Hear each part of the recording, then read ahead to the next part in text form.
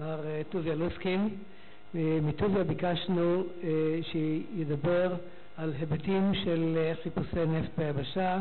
זו הזדמנות אולי להזכיר ואפילו להוקיר את העקשנות וההתמדה של מר לוסקין בנושא של, בנושא של חיפושי נפט לאורך שנים, לאורך שנים רבות, וכולנו מקווים עכשיו שבקידוח מגד 5 שהוא לא הולך להידבר עליו בפרוטרוט, מצאתי לנכון להזכיר אותו, שנמצא בתהליכי בדיקה כאלה ואחרים, ומדינת ישראל גם שם תזכה בעזרת השם לבשורות טובות בהמשך הדרך. בבקשה, מר לוסקין.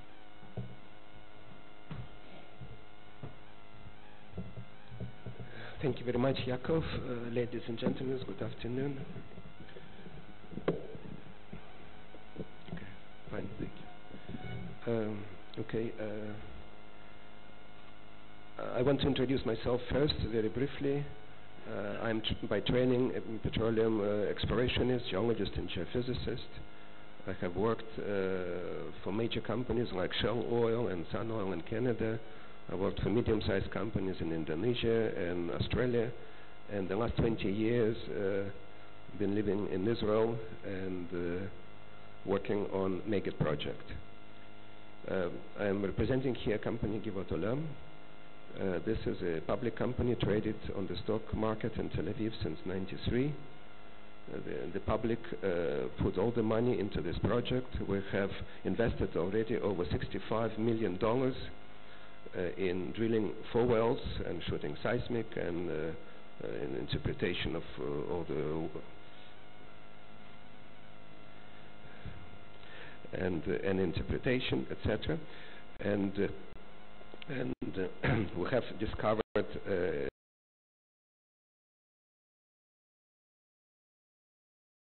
uh, oil field, and uh, unlike any other company in Israel, we're probably unique in this sense.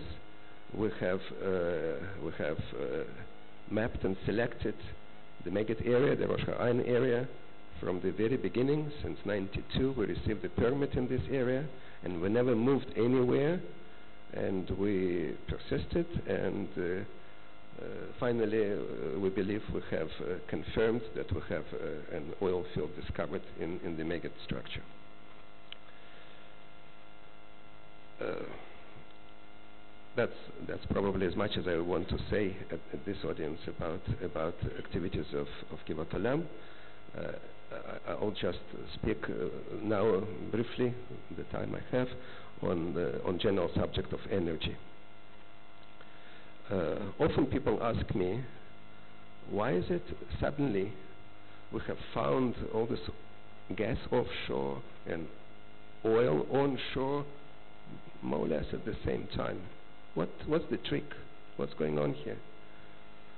And, uh, and usually they're clever people, maybe very clever people, who ask these questions.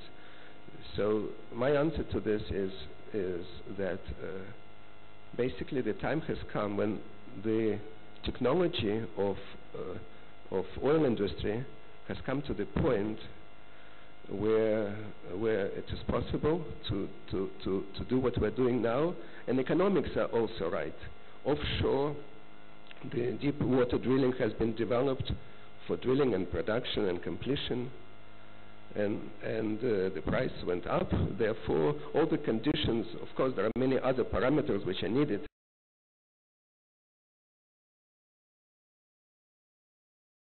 But these are the two major conditions which are always required for, for successful uh, exploration. You cannot produce unless you have the technology to do that. And onshore is exactly the same thing. We have discovered uh, oil in, in the Meged uh, structure back in 94. And we drilled uh, three wells until the latest Meged 5 well. But until very recently, the technology was not really available to us maybe maybe in the last five years only developed to the stage where it is now and Meged oil field requires uh, fracturing fracture technology and uh, proppant etc which was not available back in 94 when when we first discovered oil. Also price of, price of oil uh, in 94 was less than 10 dollars a barrel. Today is over 80 So these two parameters are basically responsible for for all the successful activities onshore and, uh, and uh, offshore and onshore. And of course, uh, time comes when these parameters are set in place, when somebody will come, bring the expertise, and put the money. And this is what happens offshore, and we were patient enough uh, and uh, to wait until the time when we can uh, start finally successfully production because of, because of technology development. Now another point which I want to bring, and this uh, this uh, is basically uh, my main thought which I wanted to to, to share with you today. why is Israel coming into into this energy game, energy worldwide game, so late in in time, over maybe 100 years of history past until today, for oil production in the world. We are today what, what is known to be in the world in the industry at the, at the peak of oil production. Until now, the production was always on the, on, the, on the increase, it was climbing up. Today we practically reached the flat uh, plateau of oil production. Maybe we have already started the decline. If not, it will come very, very soon, and there is no question about this and the decline in oil production will bring with it uh, very uh, cataclysmic uh, realities because uh, imagine there is suddenly not enough oil, price goes uh, crazy up, and there is no way to, to avoid it.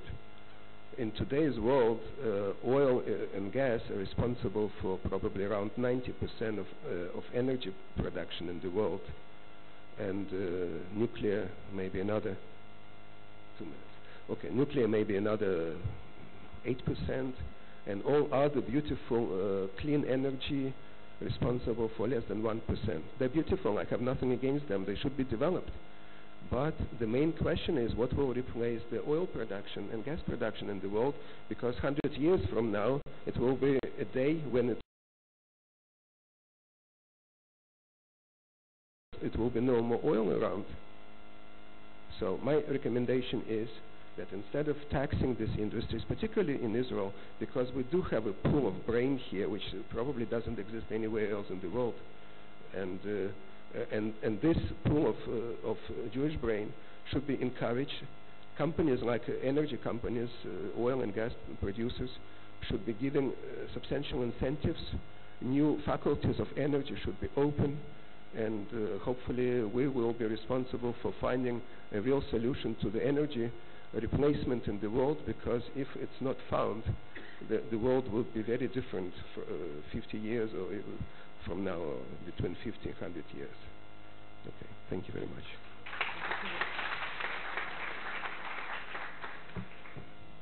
כן, הבטחתי, נשאר קצת פחות ממה שקיוויתי.